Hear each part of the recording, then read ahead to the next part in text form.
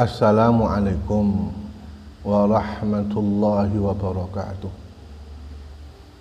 الحمد لله. الحمد لله الذي أنزل القرآن والسنة يهديان إلى صراط المستقيم. أشهد أن لا إله إلا الله وحده لا شريك له. وأشهد أن محمدا عبده ورسوله. اللهم صل وسلم وبارك على سيدنا محمد wa ala ali tayyibin at-tahirin wa ashabihi nujaba'il kiramil barar amma ba'd kaum muslimin yang dimuliakan Allah Subhanahu wa taala. Pada kesempatan kali ini saya akan membahas kumpulan hadis yang dikarang oleh Yasim Asyari sebagai rujukan dasar-dasar berdirinya Nahdlatul Ulama. Hadis yang ketujuh ini diawali dengan ayat Allah Subhanahu wa taala yang berbunyi wa ma khalaqtul jinna wal insa illa liya'budun. Aku tidak menciptakan manusia dan jin, jin dan manusia kecuali hanya untuk beribadah pada Allah Subhanahu wa taala. Maknanya ayat ini sangat-sangat mendalam. Sebab pemikiran kita pada umumnya bahwa yang dimaksud ibadah itu hanya khusus ketentuan ibadah mahdoh dan kesunahan-kesunahan yang sudah ditentukan. Padahal sebenarnya kata-kata illa liya'budun itu semua aspek bisa kita lakukan dengan kebaikan, semua aspek bisa kita lakukan dengan ibadah, apa yang kita punyai dalam kehidupan ini, fisik kita dan sebagainya, bisa kita tarik pada ruang lingkup ibadah pada Allah Subhanahu wa taala. Bukan pada ketentuan yang ansih dan wajib dan sunnah. Ini yang perlu diperhatikan. Hadis yang ketujuh ini berbunyi kullu ma'rufin sadaqah. Setiap berbuat baik itu itu dianggap sedekah oleh Allah Subhanahu wa taala. Ada muatan ibadah pada Allah Subhanahu wa taala.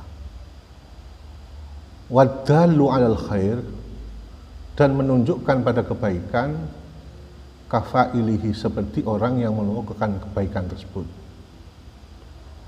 Allah yuhibbu dan malhuf dan Allah itu cinta pada orang yang menolong orang lain yang membutuhkan. Wabil khusus sesama muslim. Rawahu Daraqutni wa Ibnu Hibban Hadis ini perhadirin para jamaah yang dimuliakan Allah Subhanahu wa taala. Ada hadis yang dari Jabir dari Rasulullah sallallahu alaihi wasallam yang berbunyi kullu ma'rufin sadaqah setiap kebaikan itu mengandung sedekah maka Abu Musa al-Ash'ari menjelaskan kalau kemudian ada sahabat bertanya fa'ilam yajid? Saya tidak menemukan hal itu untuk sodako Kala Rasulullah fayamalu biyadi.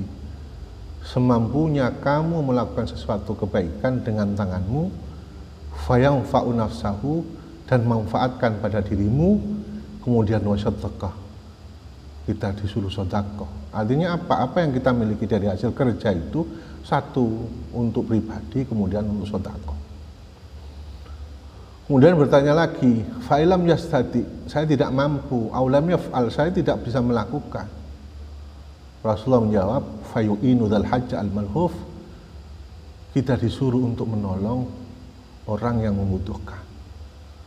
Kalau lagi sahabat bertanya, fa'ilam yaf'al, saya tidak melakukan hal itu, Kola kemudian Rasulullah menjawab, fayamuru bil khair. Usahakan kamu mengajak kebaikan.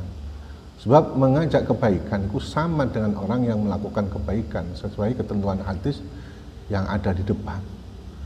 Au qala bil ma'ruf, bagaimana kemudian kita melakukan kebaikan?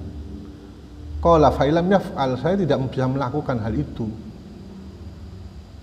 Qala Rasulullah menjawab, fayumsiku anisyar mengekang, menjauh dari kejelekan itu bagian dari ibadah pada Allah, bagian dari kebaikan.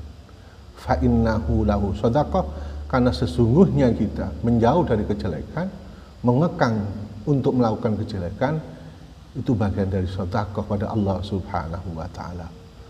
Artinya apa? Semua yang kita lakukan itu mengandung dan kembali pada Allah diniati ibadah akan kembali memunculkan kemanfaatan yaitu thawab dari Allah Subhanahu wa taala. Tidak khusus. Kita punya tangan, apa fungsi tangan? Nah, maka memfungsikan tangan adalah untuk menolong orang lain. Kita punya lesan, apa yang difungsikan kita untuk lesan? Memfungsikan bagaimana caranya? Kita mengucapkan kalimat taibah. Kita mengingatkan pada orang lain. Itu bagian dari sodako dari lisan. Berpikir bagaimana akal kita. Ya bagaimana ketika kita ditolong orang, kita membantu dengan pikiran kita dan sebagainya Artinya apa? Kebaikan-kebaikan yang ada bisa kita lakukan di sub-sub mana pun. Panjenengan kali kula gak usah saya ulang sekali, gak usah terpaku pada sisi hanya kewajiban tok yang sudah ditentukan dan kesunan yang ditentukan. Padahal ayat tadi menjelaskan tujuan panjenengan kali kula ciptakan untuk ibadah. Berarti sub ibadah apa pun yang harus kita lakukan yang berkaitan dengan awalnya tidak ada kebaikan, kita tarik untuk kebaikan. Kita punya harta, maka kita tarik harta itu untuk kebaikan. Sebab Rasulullah menjelaskan setiap harta kita dianggap fungsi yang terbaik ketika harta kita ditarik atau difungsikan untuk kebaikan pada Allah Subhanahu wa taala, pada agama Allah Subhanahu wa taala, pada manfaat orang lain. Kadang kita kan terpaku dengan kewajiban-kewajiban yang sudah ada. Padahal sebenarnya kita itu harus melebarkan fungsi diri kita. Kalau hanya ditentukan dengan kewajiban-kewajiban kesunan yang sudah ditentukan, itu cenderung bahwa kita terpaku kebaikan pada di situ. Padahal enggak. Setiap apa pun, panjang kali kalau punya harta, panjang kali kalau punya fisik, ini bisa difungsikan untuk sodakoh pada Allah Subhanahu Wa Taala. Artinya apa? Beberapa contoh lagi adalah menolong orang lain, kemudian kita berbuat baik dengan orang lain dan lain sebagainya.